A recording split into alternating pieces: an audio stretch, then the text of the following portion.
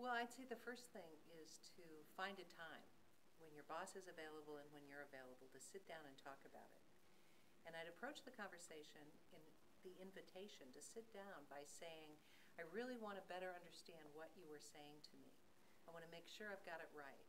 And so the first approach would be to first repeat back exactly what you heard from your boss and to give him a chance to explain, to respond. You're now a couple of days away from having heard the news, so you may have some questions that you want to ask.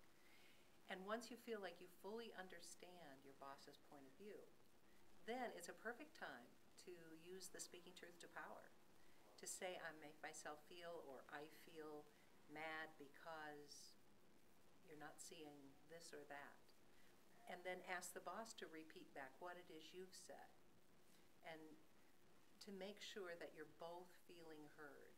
And of course, once you do that, you can also be in a respectful contrary where the, you then come up with a solution of how you're going to resolve the issue, your concerns as well as.